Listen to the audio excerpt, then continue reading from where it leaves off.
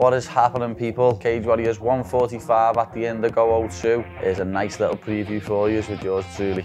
The first fight I've been keeping my eye out on would be Mehdi Ben Lakhdar. Definitely, he comes to bang every time. He's meant to have fought for the belt twice now, I think, and he's going to come out to make a statement here. That he gets a first round knockout, and then he'll be fighting for the belt next.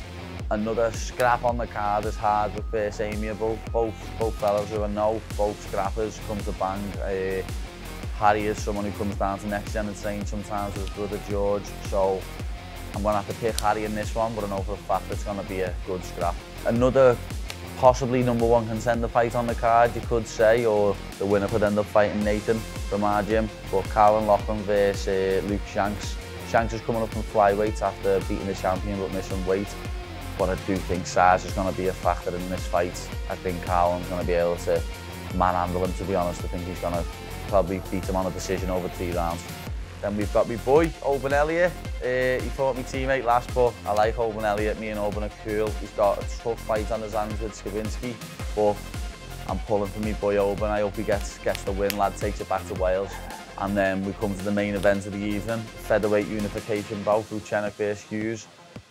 At the time, when I watched the fight, I'll be honest, I thought Hughes won.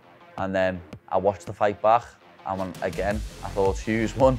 I don't know how Vucenic got the decision, but I do think Vucenic has improved a lot since he fought. I think Vucenic's got much better, and I think he's gonna. I've got a feeling Vucenic's gonna win. To be honest, I think I think Jordan's gonna take the W and may end up getting signed. Vucenic faced Hughes, biggest rematch in Cage Warriors history, title unification bout.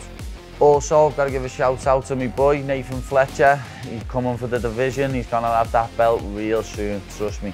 Cage Warriors 145, Indigo at the O2 London, November 4th. Going to be a banger of a card. Scraps left, right and centre. Title fight. What else do you want?